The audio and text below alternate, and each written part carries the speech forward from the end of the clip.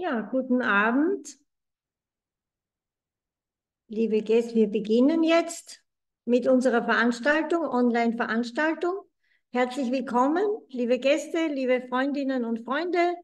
Wir treffen uns heute online ausschließlich zu einer zweiten, zu einem zweiten Teil einer Serie, die es schon im vergangenen Jahr gegeben hat. Erziehung zum Frieden, Peace through Education wir sind sehr dankbar für diese Serie und die Initiatorin dieser Serie ist Frau Susuko Hirschmann gemeinsam mit Frau Sarah Grasböck. Sie haben sie ins Leben gerufen.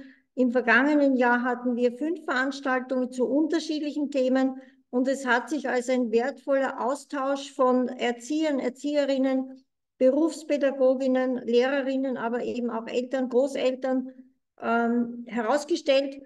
Und so haben wir festgestellt, dass wir im heutigen Jahr weitermachen wollen, weil das Thema ein sehr zentrales Thema ist. Wie Kinder aufwachsen, bestimmt die Zukunft dieser Welt. In 20 Jahren sind es unsere Kinder oder noch dann die Enkelkinder, bei denen, die schon älter sind von uns, die die Welt bestimmen und das, wie sie denken, wie sie handeln, welche Haltung sie haben, das ist dann das, was, die, was einen Einfluss haben wird auf unsere Welt.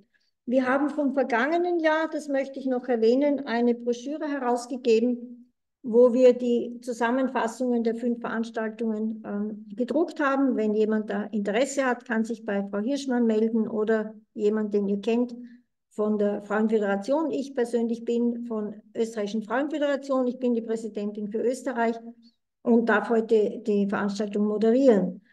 Ähm, zu Beginn möchte ich jetzt Frau Susuko Hirschmann einladen. Frau Susuko Hirschmann ist die Präsidentin der Frauenföderation in der Steiermark, ist seit äh, fast 30 Jahren aktiv tätig und hat viele, viele Aktivitäten gesetzt in der Steiermark, was auch die Erziehung betrifft. Zum Beispiel hat sie durch viele Jahre hindurch einen Mal- und Zeichenwettbewerb an Schulen veranstaltet, und das hat also Aufsehen hervorgerufen, Begeisterung bei Kindern und Lehrern und auch bei Bürgermeistern in der Umgebung. In der Online-Zeit haben wir das dann online gemacht, österreichweit, zwei Jahre hindurch. Es war sehr berührend und sehr schön, das zu machen. Heute sind wir bei dem Thema Erziehung und das Thema des heutigen Abends ist Erziehung, also Bildung, äh, Beratung mit in Bezug auf die Medien. Und jetzt möchte ich Frau Hirschmann bitten, dass sie noch etwas sagt zu, dem, zu dieser Serie, zu der Idee dieser Serie. Susuko, bitte. So, danke schön. Guten Abend, liebe Damen und Herren und liebe Freundinnen und Freunde. Und ich möchte Sie herzlich zu unserer Online-Serie Peace Through Education willkommen heißen.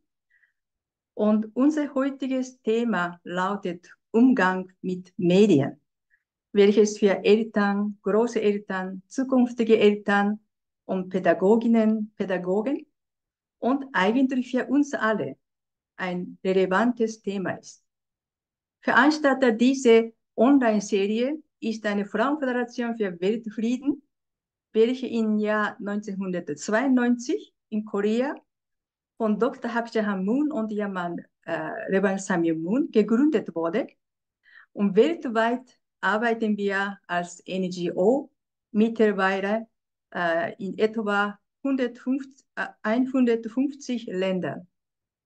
Und wir als Frauenföderation für Weltfrieden Österreich äh, legen unseren Fokus auf Themen wie interreligiöse Dialog, Werte der Frauen, Kulturaustausch, Charakterbildung und möchte durch unsere Aktivitäten einen Beitrag zu Frieden in der Welt leisten.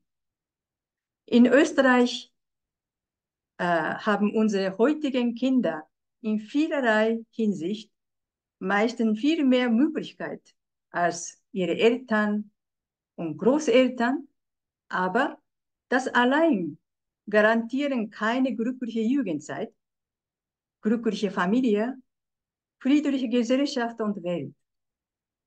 Bereits sehr früh kommen Kinder mit den digitalen Medien und Internet in Kontakt.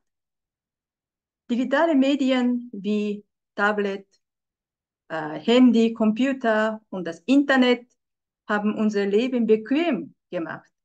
Aber Je nach Nutzung bringen sie auch ihre Schattenseite mit, wie Abhängigkeit, Cybercrime und Cybermobbing.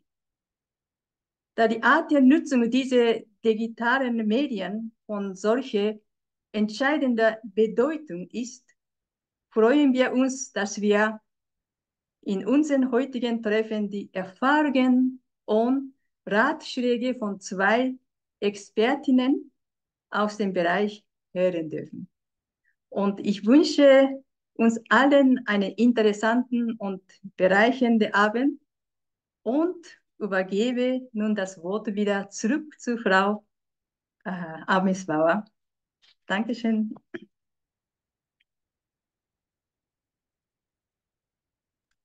Herzlichen Dank, liebe Susuko, für deine einführenden Worte. Und jetzt möchte ich unsere erste Sprecherin vorstellen. Es ist mir eine große Freude, Frau Veronika Lippert. Frau Veronika Lippert ist 1971 geboren, also noch wirklich fast jugendlich. Sie ist dreifache Mutter und Obfrau des Vereines Elternwerkstatt. Und dieser Verein hat etwas zustande gebracht, einen Elternführerschein. Uns gefällt diese Bezeichnung sehr, sehr gut für diese Kurse. Sie hat eine Ausbildung als zertifizierte Elterntrainerin mit Schwerpunkt DAS oder das Eltern Elternseminar. Elternseminar. Danke vielmals. Sie ist Sonder- und Heilpädagogin, Spielpädagogin, also Ausbildungen in diesen Bereichen hat sie gemacht. Sie ist auch Behindertenpädagogin, Trainerin und Coach für Jugendliche. Sie äh, macht Seminare, organisiert Seminare für Eltern und Pädagoginnen und ist Trainerin für Langzeitarbeitslose. Sie arbeitet mit einem eigenen Therapiehund, das finde ich auch sehr, sehr lieb. Ich habe Therapiehund erlebt an, im Seniorenheim. Sie arbeitet an den Schulen mit dem Therapiehund. Sie ist konf im Konfliktmanagement täglich, tätig und eine Schu Schulmediatorin, Prozessbegleiterin bei UNICEF. Ich habe heute schon gesagt, Frau Lippert hat sicher eine Zwillingsschwester oder sie ist sogar ein Drilling, um das alles zu schaffen. Aber ich bin sehr gespannt und freue mich sehr, dass sie heute mit uns ist und bitte Sie um Ihr Wort. Ja, danke vielmals, ähm, auch für die lieben einleitenden Worte. Ich werde jetzt einmal gleich einen Talentcheck machen und werde mal schauen, ob ich den Bildschirm teilen kann. So, das hat schon einmal funktioniert und jetzt gleich einmal von Anfang an. So, bitteschön. Ich hoffe, jeder kann es sehen und jede. Super. Mhm. Ja, vielen Dank für die Einladung. Ähm, ja, ich bin Opfer der Elternwerkstatt und natürlich ist gerade das Thema Medien sehr aktuell. Wir werden sehr viel an Schulen gerufen, ähm, weil nämlich ähm, immer jüngere Kinder die Medien nutzen. Und ich glaube, dadurch, dass wir Eltern auch Vorbild sind, und das ist ja das Anstrengende am Elternsein, dass wir Vorbild sind, ist es auch hier wichtig. Wir sind mit den Medien nicht aufgewachsen. Das heißt, wir haben die Erfahrung noch nicht. Ja? Und wenn wir jetzt selber einen Rückblick machen, ich kann mich erinnern, äh, als ich klein war, hat mein Vater immer gesagt, jetzt dreh endlich dieses Kastel ab, diesen Fernseher. Ja? Wenn wir noch weiter zurückschauen, waren es die Bücher. Die Kinder hätten nicht Bücher lesen sollen, sondern am Feld arbeiten. Ja? Also es hat immer etwas gegeben, wo eben die ältere Generation der jüngeren Generation vorgeworfen hat, es nicht zu tun. Wir wachsen mit den Medien auf, unsere Kinder, unsere Enkelkinder wachsen schon von Geburt an mit den Medien auf. Und der Unterschied ist dadurch, dass wir noch nicht damit aufgewachsen sind. Das heißt, unser fehlt in vielerlei Hinsicht, was die Nutzung der Medien betrifft, einfach die Erfahrung. Und ich habe drei Kinder mit 24, 20 und, und 18 und die 24-Jährige ist schon ganz anders aufgewachsen als der 18-Jährige. Obwohl da nur sechs Jahre eigentlich, also Unterschied ist. Ja, so viel hat sich in dieser Zeit schon getan. Und ich habe es vorher schon gesagt, wir sind in allem, hier noch einmal ein Überblick, was früher war, was heute ist. Wir sind in allem unseren Kindern Vorbild. Das heißt, auch es ist wichtig, dass wir selber auch Vorbild sind für unsere Kinder, was die Mediennutzung betrifft. Ich sehe es oft in der Straßenbahn, Mutter am Handy, Kind am Tablet und dann höre ich, wie sie sagt, sei nicht dauernd am Tablet, sei nicht dauernd am Handy. Aber selber ist sie es auch oder ist auch der Vater am Handy. Und da, glaube ich, müssen wir uns alle an der Nasenspitze nehmen. Ich liebe mein Handy. Ich liebe meine Park-App. Ich liebe es, wenn ich irgendwo hinfahre und der Weg mir beschrieben wird. Das ist alles ganz, ganz toll. Ja, und wichtig ist, so wie wir früher gelernt haben, abzudrehen den Fernseher, aber der Fernseher uns auch viel Information gebracht hat, ist es auch hier wichtig, dass wir unsere Kinder begleiten und dass wir ihnen Vorbild sind bei der Nutzung des Handys. Das ist wie mit Süßigkeiten. Zu viel ist nicht gut. Und auch nicht wahllos. Ich nehme an, dass Sie Ihre Kinder beim ersten Weg in die Schule begleitet haben, dass Sie den Schulweg geübt haben. Ja, dass Sie gesagt haben, pass auf, da ist eine Kreuzung, da musst du schauen, pass auf, du darfst nicht zu fremden Leuten ins Auto steigen. Genau das Gleiche ist auch mit der Nutzung von Medien. Auch hier, und ich glaube, da wird dann ähm, meine Kollegin im Nachhinein auch viel noch darüber erzählen, da möchte ich jetzt gar nicht so viel wegnehmen, vorwegnehmen. Auch hier müssen wir unsere Kinder begleiten. Es ist WWW, World Wide Web. Wir entlassen unsere Kinder in eine Welt, wo wir gar keine Übersicht haben und Übersicht haben können. Das heißt, es liegt in unserer Verantwortung, hier Kinder auch kritisch zu erziehen und zu sagen, denk drüber nach, wo du gerade bist und was du gerade machst.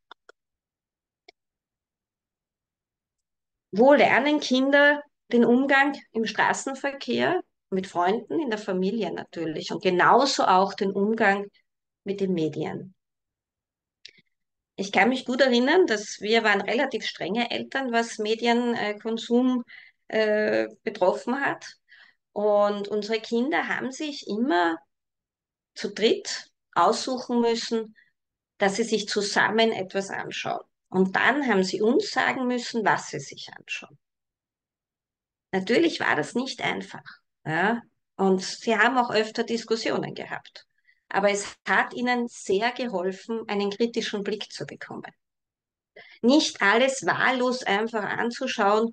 Für Kinder ist das extrem anstrengend, dieses schnelle, gerade auf YouTube, wo die Algorithmen immer wieder die Filme und die, die, die, die Kurzfilme zeigen, die gerade angeschaut wurden und der nächste, das Interesse, die Themen waren immer gleich wieder da, dass wir ihnen da auch bewusst sagen, wie nützt man Medien? Passt's auf. Die beeinflussen euch. Ja? Planen Sie bewusst mit Ihren Kindern. Nutzen Sie selber den Flugmodus am Abend. Wir hatten am Abend, wenn wir zu fünf beim Abendessen gesessen sind, hatten wir den sogenannten Handyparkplatz, auch für meinen Mann und mich. Und glauben Sie mal, manchmal hat es mich schon sehr gejuckt, wenn es da geläutet hat und ich gemerkt habe, uh, da piepst es jetzt und ich habe nicht schauen dürfen, weil ich Vorbild war. Und weil wir eben dadurch den Kindern gezeigt haben, wie wichtig es ist, dass man miteinander spricht. Wir halten auch viele Workshops mit Kindern am Vormittag, äh, Medienerziehung betreffend, und am Abend sind wir dann mit den Eltern. Und am Vormittag oft ist dann das ganz große Thema die WhatsApp-Gruppen, ja, wo ganz viele Daumen hoch, Daumen runter, Gesichter, Emojis, alles ist da. Und dann habe ich einmal in, bei einem Buben, der sehr geweint hat, weil er so viel negative Rückmeldung bekommen hat. Ja. Und dann habe ich einmal einen Sitzkreis gemacht und habe diesen Buben zu mir geholt und dann habe ich angefangen, den anderen Kindern zu sagen, so, und jetzt sagt doch diese Dinge, diese Gefühle, die ihr da ähm, diesem Buben entgegengebracht habt, doch einmal ins Gesicht. Äh, schaut einmal, welche Reaktion da kommt. Und die waren sehr erschüttert, die Kinder, weil sie so distanziert sind, dass sie gar nicht mehr die Gefühle und die Reaktionen der anderen wahrnehmen. Und wenn man da mit Kindern spricht und ihnen das verdeutlicht, ja, dann ist das viel wert. Und auch Loben Sie Ihre Kinder, machen Sie auch offline Komplimente. Das ist nämlich das, was das Gefährliche ist. Kinder Daumen hoch, ganz schnell wird super, du bist der Tollste, du bist der Coolste. Das ist auch, weil wir Eltern und wir leben in einer Fehlerkultur, oft leider nur das Negative sehen. Und ich denke mir, etwas ganz Schönes ist, wenn man sich auch einmal bei seinem Kind einfach bedankt. Danke, dass du jetzt dein Glas ohne irgendetwas einfach zur Seite geräumt hast. Dass dein Teller wirklich im Geschirrspüler landet. Das ist etwas, was wir viel zu wenig machen und dadurch die Kinder sich dann in diese Fantasiewelt hineinflüchten. So, jetzt schauen wir da, ob es weitergeht. So, jetzt. Wichtig ist, und Kinder, unsere Kinder wachsen damit auf, dass wir nicht ihren verteufeln. Was schaust denn du dir da wieder für einen Blödsinn an? Was ist denn das schon wieder für ein, für ein Irrsinn? Ja, sondern dass wir mit ihnen hineintauchen. Dass wir schauen, was ist da eigentlich an? Wo ist da ihre Welt, dass sie dort abholen können? Weil so nur wissen wir, was sie sich anschauen und so können wir sie auch gut begleiten und vielleicht auch mit ihren sprechen, ob das wirklich auch Realität ist. Also ich habe mal gelesen, in Deutschland wurde eine Studie gemacht, da wurden Volksschulkinder gefragt, welche Farben Kühe haben und sie haben lila geantwortet. Ja? Weil viele gar nicht mehr hinausgehen und in die Natur gehen. Weil es natürlich bequem ist. Wir leben in einer leistungsorientierten Gesellschaft. Es ist, es ist viel zu tun für Eltern, sie sind oft überlastet und dann sitzen die Kinder halt vom Tablet. Ja. Es gibt sogenannte ähm, Vereinbarungen, die man treffen kann mit Kindern. Schau dir mal deinen, was musst du für die Schule machen, wo willst du vielleicht daneben ein Hobby machen, wie schaut dein Tag aus? Ja, hier kann man wirklich auch einen Vertrag mit Kindern machen, damit hier Kinder auch merken, okay, meine Eltern schauen auf mich. Da ist jemand, der passt auf mich auf. Ja, wichtig ist auch, und das ist, glaube ich, ein, ein guter Punkt, dass wir Kindern beibringen, Medien richtig zu nützen.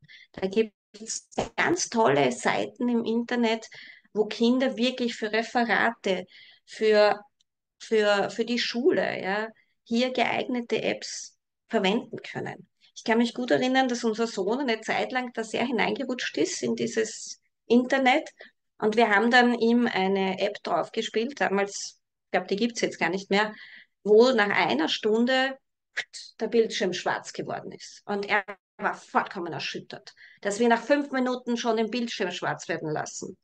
Und ich sagte, Johannes, das waren keine fünf Minuten, das war eine Stunde. Und er war zutiefst erschüttert, weil er gar nicht mehr gemerkt hat, wie er in diesem Spiel drinnen war. Ja. Wir waren übrigens die bösen Eltern, weil wir haben ihm nicht diese ganzen Gewaltspiele erlaubt. Da war er sehr böse. Jetzt, mit seinen 18 Jahren, dankt er uns dafür und sagt, mein Gott, Gott sei Dank, habt ihr mir das nicht erlaubt, weil viele seiner Freunde sind hängen geblieben in diesen Spielen. Ja. Es ist auch wichtig, und das haben wir damals gemacht, dass wir gesagt haben, Johannes, versuch doch einmal es anders zu nützen. Da damals wurde ein neuer Planet entdeckt, das ist jetzt auch schon ein paar Jährchen her, und wir haben gesagt, weißt du, Johannes, du wirst dich jetzt vom Computer setzen und machst uns am Wochenende ein 15-minütiges Referat über diesen neuen Planeten. Und er hat das wirklich mit PowerPoint und allem Möglichen geschafft und war ganz happy. Und so haben wir zusammen das gut nützen können. So, jetzt werde ich mich ein bisschen beeilen. Glaube, das kommt dann auch noch mit Urheberrecht. Hier ein kurzer Überblick, ähm, Überblick wie viel eigentlich Kinder ähm, Bildschirmzeit haben sollten nach Alter geordnet. Ich sehe schon, meine Zeit läuft. Ja, ganz wichtig ist mir auch noch, dass eben es oft leider zur Sucht kommt und wie können wir das als Eltern ja feststellen wenn es auf einmal still wird im Kinderzimmer, wenn das Kind keine Hobbys mehr machen will, wenn es kein Interesse mehr hat an realen Freunden, ja, wenn der Kontrollverlust kommt, wenn die Toleranzgrenze ja, ganz unten ist, dann sollten wir hellhörig werden und sollten schauen. Da haben Sie noch einmal eine Übersicht. Natürlich ist der Vortrag oft viel länger, deshalb auch so viel geschrieben. Wichtig ist, sind Sie Ihren Kindern Vorbild. Ja, machen Sie mit ihnen Aktivitäten außerhalb des Handys, der Medien, des Tablets. Das ist ganz wichtig. Und schauen Sie ab und zu mal im Bus oder in der Straßenbahn aus dem Fenster. Es blühen jetzt so viele schöne Bäume. Und meine Kinder machen sich manchmal ein bisschen lustig über mich.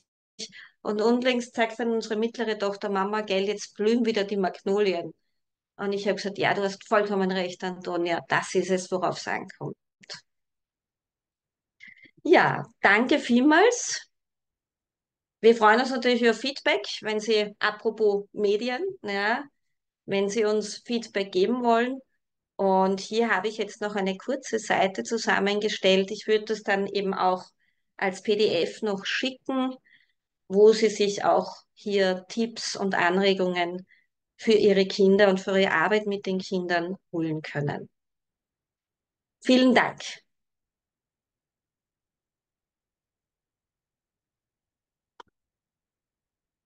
Vielleicht kannst du auch noch einmal, ähm, ja. ja, okay, also ich habe nicht ganz vorbereitet für MC zu machen.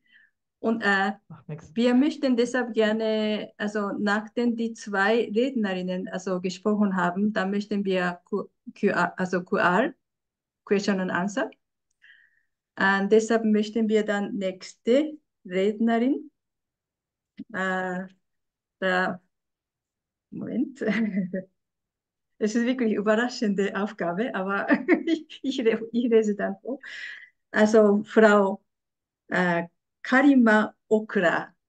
Und zuerst habe ich dann eigentlich, ich habe auch heute zum ersten Mal sie kennengelernt, aber so per E-Mail immer geschrieben und von Name mhm. her, ich habe nicht gewusst, wer sie ist, also welche Nationalität, das ist ganz, ganz äh, also außergewöhnlicher Name aber irgendwie ähnlich wie sie Japanisch. Familienname Okra und ihr Mann ist der Japanerin. So, heute habe ich dann entdeckt. okay. Und sie ist seit über zehn Jahren Teil des Team, Teams von Safer, äh, Safer Surfing und als Lieferantin in der Elternarbeit tätig. Der Verein setzt sich für den Schutz im Internet von Kindern und Jugendliche und Erwachsenen, vor allem von Porno äh, Pornografie, ein. Und es ist ein Anliegen von Safer Surfing, das Bewusstsein für diese Pro äh, Pro Problematik zu schärfen und Familie im Umgang in diesem Thema zu unterstützen. Und äh, Frau äh, Karima hat dann drei erwachsene Kinder und lebt mit ihrer Familie in Wien. So habe ich da richtig. Alles super gemacht. Ich kann ja dann auch noch ein bisschen was sagen. Danke. Ja, ja dann, dann werde ich jetzt, jetzt, auch mal den Bildschirm teilen. Bitte schön.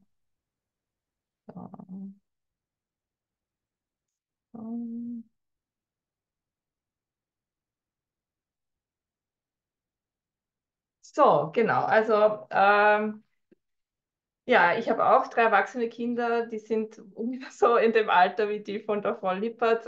Meine Tochter ist 20, dann habe ich äh, zwei Söhne äh, mit 23 und 25 Jahren.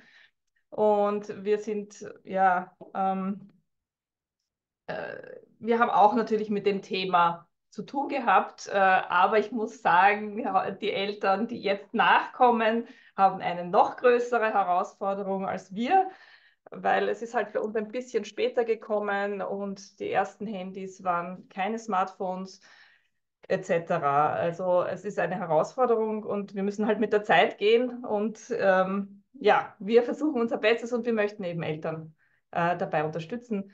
Und die Frau Lippert hat schon ganz viel gesagt, was wir halt normalerweise auch sagen würden. Nein, es ist, es ist gut, ja, und man kann es auch nochmal sagen und es ist eh, das Thema ist groß und man kann noch sehr viel sagen.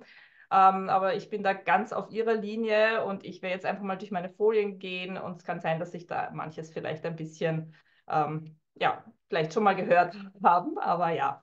Genau, die, die neuen Medien haben wir schon gehört, äh, sind super nützliche Wer Werkzeuge, privat und in der Arbeitswelt. Ähm, Unterhaltung und eben wir haben eine Oma in Japan, der kann man Fotos schicken und, und äh, man kann telefonieren gratis und es ist einfach viel einfacher geworden, äh, auch über Distanzen äh, zu kommunizieren. Aber die neuen Medien können halt auch Schaden anrichten, wie wir auch schon gehört haben. Und ähm, da gibt es eben ganz unterschiedliche Dinge. Wir haben jetzt vor allem auch gehört über die ja, einfach die Nutzung insgesamt. Ähm, ja, es ist sogar schon die jüngsten sind im Internet. Das war ähm, eben eine Studie auch ähm, von vor ein paar Jahren und ähm, ja, 72 Prozent der 0- bis 6-Jährigen nutzen bereits das Internet. Ähm, und da natürlich die Null- und Einjährigen wahrscheinlich oder zumindest die Nulljährigen noch kein Internet verwenden, äh, ist das natürlich bei den Sechsjährigen haben dann schon ganz viele äh, sind dann schon im Internet unterwegs. Und viele haben dann eben auch schon ein eigenes Gerät. Und das ist jetzt die Frage, ob wir immer wissen, was eigentlich die Kinder am Handy machen. Das ist natürlich schwierig, das äh, zu wissen. Wir wissen es eben nicht immer. Ja? Und ähm, deswegen jetzt auch zu unserem Thema speziell. Es ist eben sehr wichtig, dass Kinder wissen, es gibt eine reale Welt und es gibt eine virtuelle Welt. Das kann man auch schon in kleineren äh, Kindern irgendwie äh, ja, vermitteln, äh, dass nicht alles, was sie sehen im Internet, auch tatsächlich echt ist. Aber es ist doch so, dass unser Blick auf die Realität äh, wird doch beeinflusst durch das, was wir sehen. Und ähm, und Kinder, die eben noch gar nicht irgendwie, wenn die das noch nie von woanders gehört haben oder das nicht irgendwie abwägen können, äh, für die ist es manchmal sehr schwierig zu erkennen, ob das jetzt echt ist oder nicht. Und das äh, ist ja auch schon, eben wie wir gehört haben, eben äh, jetzt auf, auf YouTube oder eben TikTok auch. Ähm, das äh, gibt es Influencer und äh, die haben ein tolles Leben offensichtlich und äh, chatten durch die Welt vielleicht und sind immer toll angezogen und alles sitzt perfekt. Aber dass das nicht die Realität ist, sondern dass da ein Team dahinter steckt, die das alles, äh, das stundenlang dauert, vielleicht auch so ein Video herzustellen. Ähm, das können oft Kinder gar nicht so richtig einschätzen. Und äh, bei uns ist eben das Thema Pornografie äh, sehr, äh, das ist eben der Schwerpunkt bei uns. Und wenn Kinder nicht wissen, ja, was ist echte Sexualität oder wenn wir eben nie mit unseren Kindern darüber gesprochen haben, dann holen sie sich die Informationen aus dem Internet und ähm, dann wird das oft zum ersten Referenzpunkt. Genau, also eben das, was wir sehen, ist nicht unbedingt echt und man kann sehr viel verändern und man kann sehr viel äh, tun. Ja, also das, äh, das war noch Photoshop, aber wir sind ja jetzt schon viel weiter und das ist auch gerade bei unserem Thema äh, die künstliche Intelligenz. Das hat sich gerade im letzten Jahr extrem ähm, ja, verändert und, und, und ist, äh, es wird immer besser. Äh, das heißt, man kann kaum mehr erkennen, ähm, ob, ob ein Bild tatsächlich echt ist oder nicht. Und äh, man kann eben Filme, Videos und äh, aber natürlich auch Text kann einfach produziert werden von einem Roboter. Und es gibt Bildgeneratoren wie Midjourney, wo eben auch dieses Bild hier hergestellt wurde. Und derjenige, der das gemacht hat, hat sich, war sich halt nicht bewusst, dass das so, so, so viral gehen wird. Und ja, und äh, das ist der nächste Punkt, 96 Prozent dieser KI-generierten ähm, ähm, Materialien, diese Deepfakes, ist tatsächlich pornografisch. Und äh, wir wissen auch, dass ähm, ja, es gibt halt einige ähm, Berühmtheiten, denen das schon passiert ist. Äh, ich, man weiß zum Beispiel von Taylor Swift, wo schon äh, ihr, ihr Foto auch verwendet wurde für solche Bilder mit sexuellem Inhalt. Und ähm, sie hat natürlich Geld und kann dem jetzt auch nachgehen, ja, aber äh, sowas kann eigentlich ja schon jedem passieren. Deswegen ist es extrem wichtig, halt auch für uns, dass wir kritisch sind und dass wir die Quellen prüfen. Und ähm, ja, und dass wir in unseren Kindern vor allem auch sagen, nicht alles, was du siehst im Internet, ist tatsächlich auch so. Ähm, ja, und es ist halt so, dass bei den Kindern sich das Gehirn erst entwickelt und gerade in der Pubertät äh, bilden sich verschiedene Teile des Gehirns ähm, aus. Äh, Kinder und Jugendliche lernen noch ganz, ganz viel. Und ähm, gerade das, was in, diesem, in dieser Zeit ähm, auf die Kinder einwirkt und das, was sie da lernen, das hat Auswirkungen auf ihr gesamtes Leben und prägt ganz besonders. Und das gilt natürlich auch für Süchte. Das können egal welche Süchte sein, also substanzabhängige oder auch substanzunabhängige. Und ja, man kann es so ein bisschen vergleichen, Schokolade und, und Vitamine. Wir wissen, wir brauchen Vitamine, und, aber die Schokolade ist süß. Und naja, und wenn wir halt immer nur Schokolade essen und keinen Apfel und dann kosten wir einen Apfel, dann schmeckt der einfach nicht mehr so gut und wir können gar nicht mehr uns dran freuen. Und das ist aber auch bei Sexualität und Pornografie so, dass äh, Menschen, die halt äh, gewöhnt sind, immer nur äh, Pornografie zu äh, konsumieren, die, wahre Sexualität gar nicht mehr so genießen können. Und bei den Jugendlichen und Kindern ist es so, dass sie ja noch gar oft gar keine echten Erfahrungen oder Kinder gar nicht äh, echte Erfahrungen mit Sexualität hatten und äh, alles lernen, was sie sich, sie denken das halt, dass in der Pornografie die Norm ist, was nicht ist, natürlich. Ähm, die Auswirkungen, also wenn Kinder zu früh auf äh, solche Seiten kommen und gar nicht wissen und das gar nicht einordnen können, dann kann das wirklich extrem äh, schädliche Folgen für ihre Selbstwahrnehmung und ihre sexuelle Identität haben. Ähm, Pornos verändern, wie sich Leute selber sehen und wie sie andere wahrnehmen. der Körper wird einfach zum Sexobjekt. Äh, sie werden unsicher im Körperbewusstsein, weil sie sich immer vergleichen. Also so schaut diese, diese Person halt im, im Internet schaut ganz anders aus oder perfekt oder was auch immer. Und so schaue ich selber nicht aus. Also werden die Kinder und Jugendlichen, vor allem die Jugendlichen dann natürlich äh, unsicher.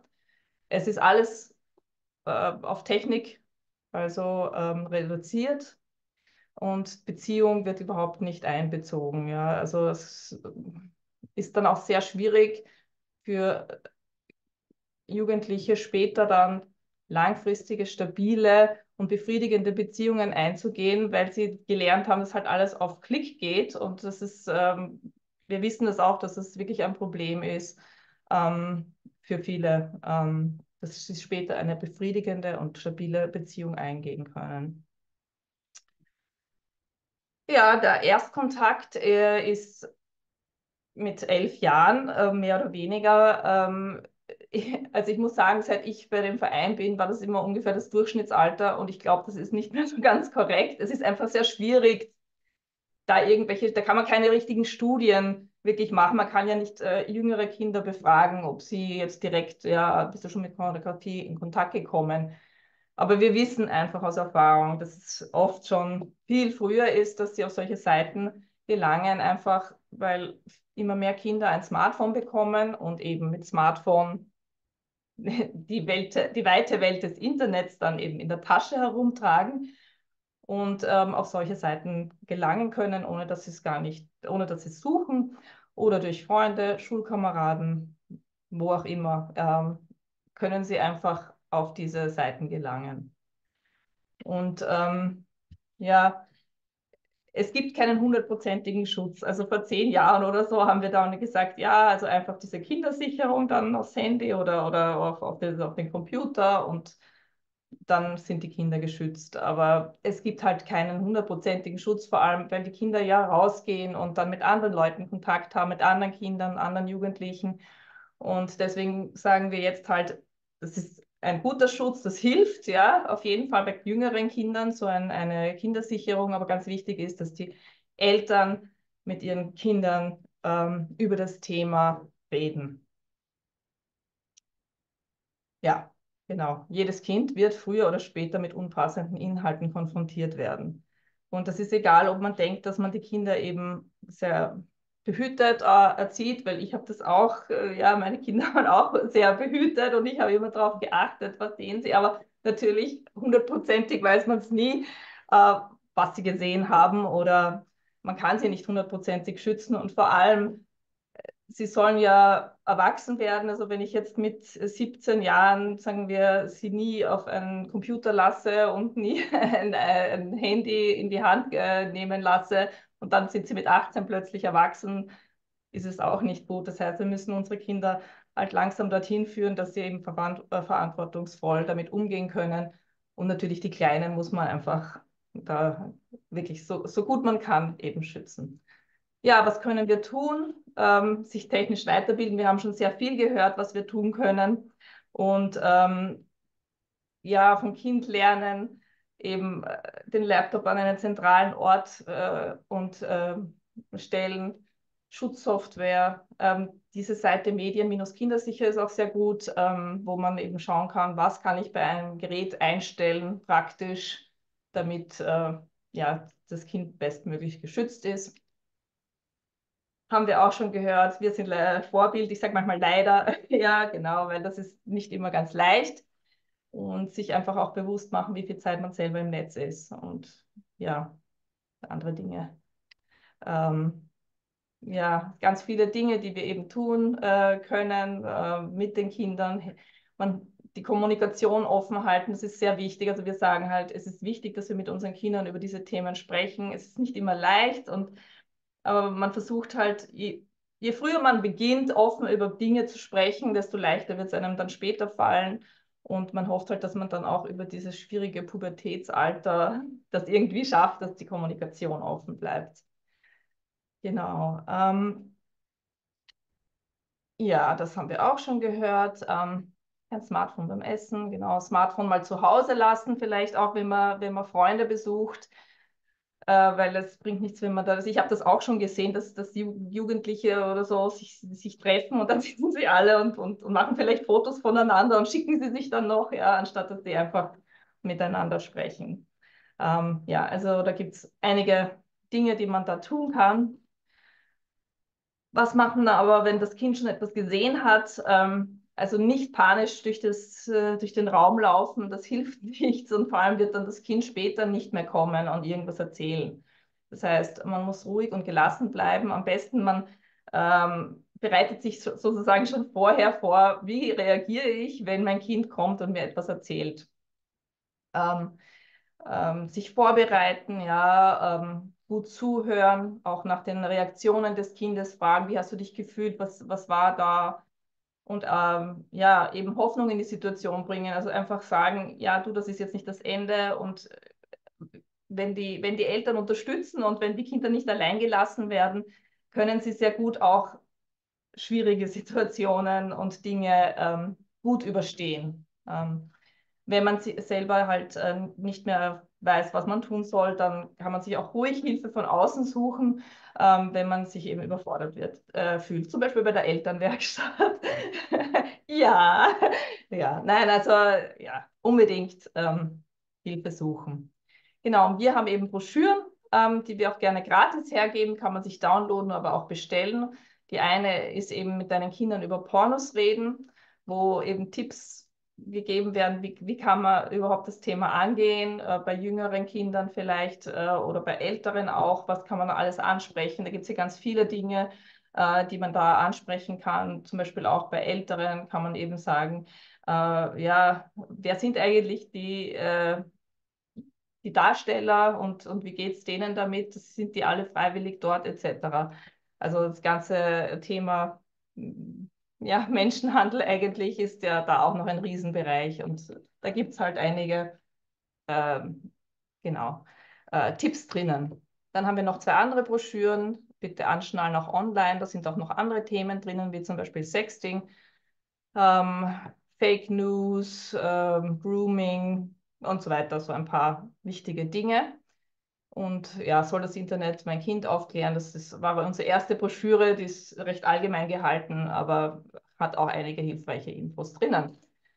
Genau, das sind halt einfach ein paar. Kann man gerne auf unsere Homepage schauen, äh, www.safersurfing.org. Da gibt es dann einige ähm, Bücher, die man nehmen kann. Äh, genau, das ist die Kindersicherung, die haben wir auch bei uns. Aber wie gesagt, wir sagen nicht, dass wir die einzig wahre Kindersicherung haben, wir, sondern man muss sich einfach umsehen, was gibt es, was passt für mich. Ähm, äh, diese Kindersicherung kann, äh, ja, kann man verschiedene Benutzer einstellen und ähm, ja, kann entweder sagen, ja, das Kind ist, weiß ich, fünf Jahre alt und darf nur, ich weiß nicht, eine bestimmte Seite anschauen. Und, ja, oder es ist schon älter und ja, also das und Zeiten kann man dann auch anstell, einstellen und dann geht eben das, der Computer um 8 Uhr abends ab oder das Matheprogramm kommt auf. ja, so kann man seine Kinder ärgern. Nein, wir wollen ja unsere Kinder nicht ärgern, sondern wir wollen sie einfach äh, gut begleiten, dass sie erwachsen werden und, und gesund sind und ähm, ja, ja, es gut ins Erwachsenenalter schaffen. So, mein Timer hat geläutet. Ich danke und werde die Freigabe stoppen. Danke.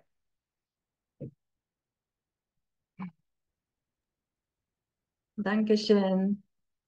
Ja. Äh, ich möchte noch fragen, Renate, ist. Ja, ich, ich sehe mich nicht. Ich weiß nicht, ob ich gehört werde. Ja, ja, ja, ja. Ja, ja, also ganz herzlichen Dank, auch noch im Nachhinein, Frau Lippert und Frau Okima. Jetzt sehe ich mich selber auch. Mein Computer hat sich da auch etwas einfallen lassen, hatte mir vorher nicht mitgeteilt. Äh, dank der Disziplin der Rednerinnen, dass sie ihre Zeit gut eingehalten haben, haben wir jetzt Gelegenheit, Fragen zu stellen.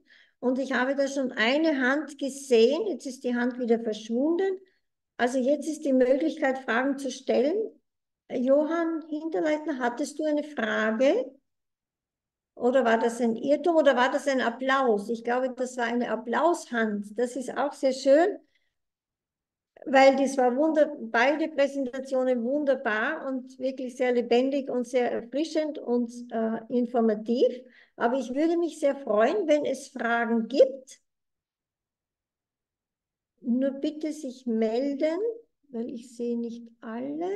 Jetzt sehe ich viele von euch, von Ihnen. Wir haben vorhin schon festgestellt, also beide Rednerinnen sind bereit, mit Vorträgen an Schulen zu kommen bei Bedarf, wenn es sich halbwegs von der Entfernung her machen lässt. Also gerade Sarah, Sarah hebt dann Hand. Ja, bitte, Sarah. Ja, äh, guten Abend. Ich hätte eine Frage für die Frau Lippert. Und äh, zwar, ähm, wie kann man äh, mit den Kindern Kompromisse finden, wenn die Kinder nicht bereit sind, Kompromisse machen zu wollen? Das ist eine gute Frage. Ich glaube, das hat jetzt wenig mit Medienerziehung zu tun, sondern mit Erziehung allgemein. Ja. Ich glaube, je klarer wir unsere Regeln aufstellen und unsere Grenzen setzen, desto klarer verstehen das auch die Kinder. Ich sage immer zu unseren Eltern, ein Nein ist nichts Böses, sondern ein Nein ist etwas, was wir Eltern machen, damit wir unsere Kinder schützen, weil wir schon die Erfahrung haben. Ja, und wir vertreten in der Elternwerkstatt die sogenannte flexible Erziehung, wo es den Bereich der Kinder gibt, natürlich immer unter unserem geschützten Rahmen, ja, wo die Kinder eben ihren Turm aufbauen können und ihr Pferd rosa mit gelben Tupfen machen können. Ja, das ist ihre Welt. Da haben wir Eltern nichts zu suchen. Dann gibt es den Bereich der Mitsprache. Da kann man Kompromisse schließen, natürlich mhm. immer unter unseren Rahmenbedingungen. Und dann gibt es den Bereich der Eltern. Da mhm. haben die Eltern die Regeln. Du greifst mit drei Jahren nicht auf die heiße Herdplatte, du rennst nicht mit drei Jahren über die Straße. Das ändert sich natürlich. Meine Kinder sind groß, die halten mich jetzt schon eher an der Hand, wenn wir über die Straße gehen und nicht mehr ich sie. Ja. Da wachsen, wachsen die Regeln mit. Und in diesem Korb der Mitsprache, in diesem Bereich der Mitsprache, da gibt es Kompromisse. Aber natürlich, ich sage immer, ich arbeite ja auch bei der UNICEF, Kindeswohl allen voran.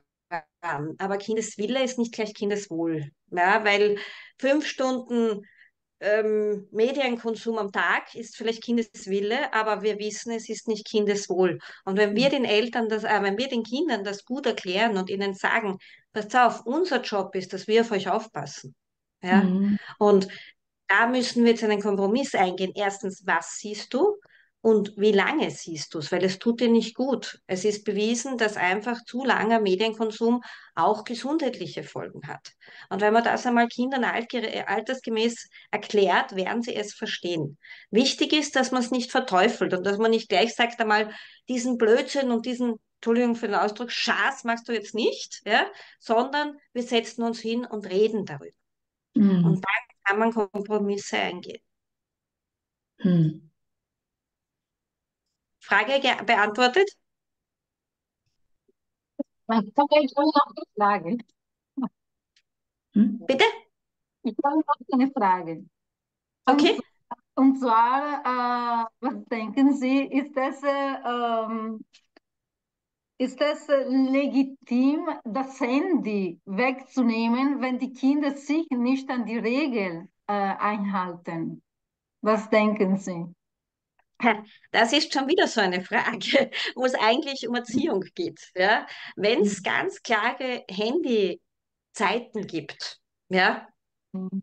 also das, das ist zum Beispiel etwas, was in diesem Elternbereich kommt. Ja? Wenn mhm. es ausgemacht ist, du darfst am Tag, ich sage jetzt irgendetwas, eine halbe Stunde am Handy sein und das Kind gibt das Handy nicht her, ja, dann die Zeit, die es länger geschaut hat, darf es am nächsten Tag kürzer schauen. Weil es sollte die Konsequenz immer mit der Sache zu tun haben, weil mhm. sonst lernen die Kinder nicht, so wie das schon die Frau Okura so schön gesagt hat, ja. Die Kinder lernen das sonst nicht. Die müssen ja irgendwann, wenn es dann einmal erwachsen sind, 18, später, selber wissen, wann es genug ist. Mhm. Natürlich, Handy kann man immer wegnehmen. Ist höchstwahrscheinlich dann im Endeffekt, wenn das Kind gar nicht einsieht, sagt, mein lieber Schatz, jetzt muss ich dich beschützen. Weil wenn du, bei uns war es immer der Spruch bei, meine, bei unseren Kindern, wenn ihr ein Theater macht, wegen Fernseher, Handy oder Computer, dann ist das weg, weil das euch nicht gut tut. Und nicht, weil wir so böse sind, weil wir könnten euch jetzt noch stundenlang schauen lassen. Ist sehr bequem für uns. Wir können Buch lesen, wir können so eine schöne Musik anhören. Super bequem, ja. Sondern wir strengen uns an, wir übernehmen die Verantwortung und nehmen euch das Handy weg, wenn es euch nicht gut tut. Oder drehen den Fernseher ab oder drehen das mhm. WLAN ab. Ja. Also zuerst einmal Konsequenz, wenn du länger schaust als erlaubt, wird die Zeit gekürzt mhm. am nächsten Tag. Wenn das auch nicht funktioniert, da tut es dir leider nicht gut. Weil es tut dir auch nicht gut, wenn du in der Früh drei Tafeln Schokolade, zum Mittag fünf Eis und am Abend auch noch ein Schokomüsli isst. Da mhm. müssen wir auch eingreifen. Frage beantwortet? Ja, klar. Danke. ähm. Dankeschön. Ja, Frau äh, Schmidt. Ja, ja, guten Abend. Vielen Dank für sehr informative Abend. Ähm, ja, ich bin eigentlich, äh, äh, ich bin die Mutter von vier erwachsenen Kindern und ich habe Enkelkind. Daher, ich habe ein bisschen Sorge äh, für die Zukunft, für unsere Enkelchen. Und äh, zum Beispiel äh, in Deutschland, ich wohne in Deutschland, ähm, diese Selbstbestimmung von Gender kann mit 14 Jahren äh, wirklich entscheiden und ohne Fachleute zu fragen. Und wenn die Eltern dagegen ist, Eltern würde straf. Mhm. Ich habe heute Nachrichten gehört, dann für mich ist das so äh, unbegreiflich, weil äh, ja, die Welt ist so kompliziert geworden. Es gibt Mann und Frau und es gibt natürlich die so ausnahmeweise, so kann man nicht entscheiden, welche. Ja? Aber die Gesellschaft ist so betont mit dieser äh, Gender und äh, eigentlich die Leute, die Probleme mit Gender hat, möchte gar nicht so öffentlich werden. Sie möchten mm, lieber so zurück, aber die eine, ich weiß nicht, so eine Gruppe, sie machen so eine Propaganda und aber ich weiß nicht, wie sie denken. Äh, Für mich ist das so ungreifbar. Aber was denken Sie, Frau Kura? Ich denke, das ist auch mit Media zu tun, sehr viele Media. Ja, der, ich meine, das, das Thema ist jetzt nicht unser Thema. Also wir, bei uns geht es um Schutz vor Pornografie. Ach ja. so, ja. Und äh, ja, natürlich, ich meine, äh, Pornografie, je früher die Kinder eben was anschauen, können sie natürlich schon irgendwie beeinflusst werden, so oder so oder so oder so. Deswegen ist es eben wichtig, dass wir die Kinder mal äh, groß, größer werden lassen äh, und Mhm. sie mal äh, in Ruhe lassen, dass sie sich dann selber sozusagen, ähm, dass sie erstmal hineinwachsen in die Person, die sie sind. Mhm. Ähm, ja, aber das ist jetzt, also das haben wir jetzt nicht als Thema bei uns im Ach so. Verein, sondern Ja, ja, ja, also ich meine, okay. es geht einfach bei uns um den Schutz vor allen Dingen, die dem Mhm. Kind schaden und Mhm. genau, Mhm. Mhm. ja. Ja, aber ich denke, ist das immer wichtig, dass äh, die Kinder wirklich äh, so einen Sprechpartner hat, das offen wirklich eigene Probleme sprechen kann. Am besten natürlich Eltern sollte gut beste sein, aber wenn das nicht, dann kann man zum Beispiel äh, Genau, auch also so, Ja, natürlich, es ist, es ist wunderbar, wenn Eltern da sind und sich kümmern um das Kind.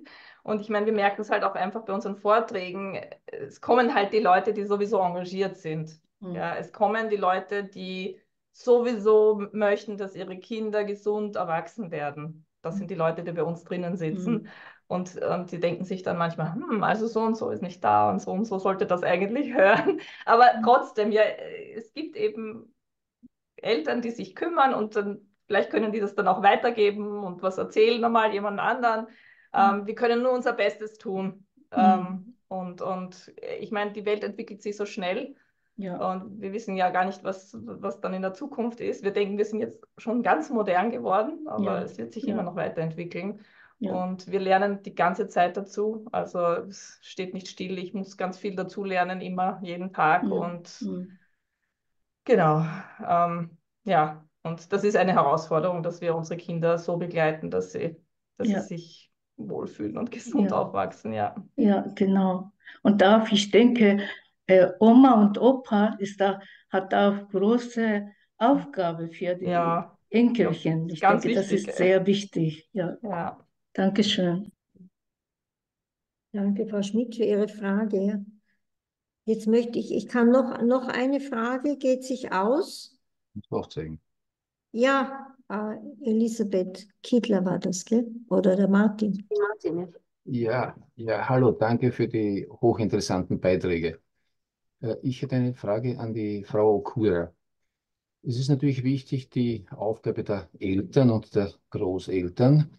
Aber wie sehen Sie die, die Aufgabe des Gesetzgebers und der Politik? Könnte da mehr gemacht werden, um unsere Kinder zu und Enkelkinder zu schützen? Könnte immer mehr gemacht werden. Ja, also ich meine, wir haben eben das Thema Pornografie und für uns wäre das natürlich ganz super, wenn da ein bisschen mehr äh, von der politischen Seite auch äh, weitergehen würde. Wir hatten das vor Jahren äh, auch schon mal ziemlich weit. Da gab es was, aber dann kam Ibiza und somit war das wieder vom Tisch.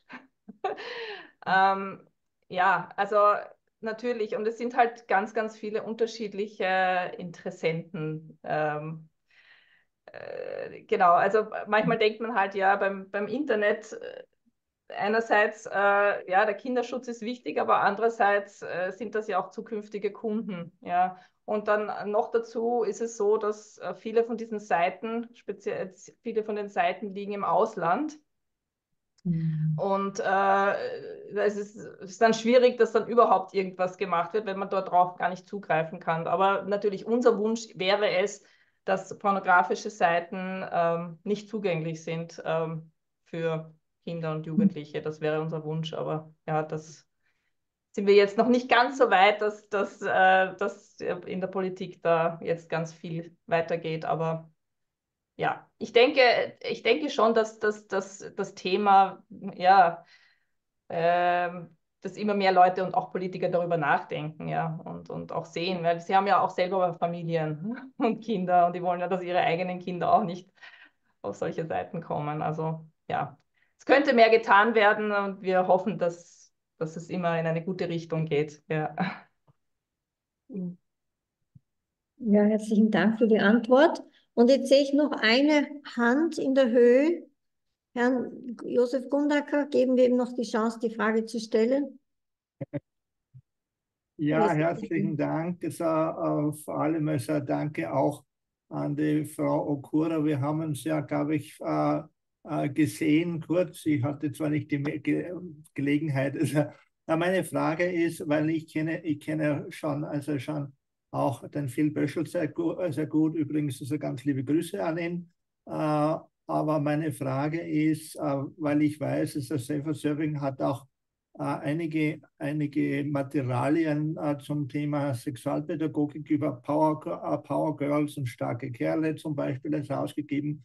Meine Frage ist, wie, wie weit man, äh, wie weit wird das von den Schulen äh, angenommen? Also das, das, das, würde mich, das würde mich interessieren, weil immer nur über die, über die normalen Standards zur Sexualaufklärung die Rede ist. Ja, wie wird das äh, angenommen äh, von den von Schulen? Ja, also äh, manchmal haben wir größere Bestellungen, wo wir, wir sehen halt nicht tatsächlich immer, wer hinter den Bestellungen steht. Ja, aber mhm. wir wissen, mhm. dass es wird kontinuierlich gerne bestellt oder downgeloadet. Das ist ja ein gratis Download. Und das okay. ist eben das Unterrichtsmaterial für, für 9- bis 13-Jährige circa wo man eben über verschiedene Themen spricht, ja, Freundschaft und, und verschiedene Sachen. Und es ist eben auch das Thema Pornografie drinnen, was, was uns halt wichtig war, weil das halt oft fehlt in, in irgendwelchen Unterrichtsmaterialien. Und es wird, es wird schon gerne angenommen, ja. Und es ist ja auch, man darf sie auch kopieren, äh, etc. Das heißt, ja, das ist für die Lehrpersonen, ich denke, das wird schon, ähm, ja, wie, wie gesagt, wiederum die Lehrpersonen, die sich äh, Gedanken machen, was könnte ich noch für Materialien verwenden und was würde mir vielleicht jetzt noch helfen und die sich halt umschauen und die uns vielleicht finden, die laden es ganz gerne runter oder bestellen es, genau. Ja. Und mhm. wenn wir Veranstaltungen haben, dann äh, gehen wir natürlich, zeigen wir das her und sagen, ja, ähm, das wäre vielleicht eine Hilfe und es wird gerne angenommen, ja. Das ist gut zu hören. Also, weil ich das bin, äh, ja, Sie kennen ja vielleicht die Arbeitsgruppe mit der, mit der, mit der Suha und, und ja. äh, äh die, die, die Dagmar Kinninger und so weiter. Und ich bin ja auch als ein Teil dieser Arbeitsgruppe. Ja. okay. Mhm. Na, freut mich. Äh, liebe Grüße. Also, wie gesagt, das an den, an den Phil Böschel und, äh, und alles Gute. Dankeschön.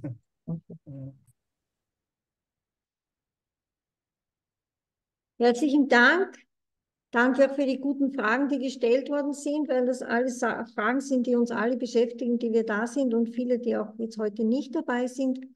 Ich glaube, für diese Veranstaltung, die möchten wir beenden, aber ich möchte wirklich ermutigen, dass man die Gelegenheit nützt, miteinander in Kontakt zu treten. Und ich danke wirklich beiden Damen, dass sie, sie leisten unglaubliche Arbeit mit Begeisterung, mit Überzeugung und da ist viel Ehrenamt dabei oder hauptsächlich Ehrenamt. Und es ist wirklich ein großen, großen Applaus an Sie, Frau Lippert und Frau Okura.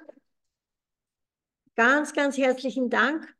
Wir werden uns sicher bei verschiedenen Gelegenheiten wiedersehen, weil wir sind immer bemüht, auch dieses Netzwerk unter denen, die das Gute wollen, die die guten Gedanken, die guten Ideen und die guten Erfahrungen vor allem auch weitergeben. Dieses Netzwerk möchten wir eben auch stärken. Und ganz herzlichen Dank, dass Sie da gewesen sind, dass Sie sich Zeit genommen haben. Ich, wir sehen uns wieder. Jetzt brauche ich Hilfe von Susuko. Der nächste Termin ist wann? Anfang äh, Mai. Es wird wieder ein Freitag sein. Anfang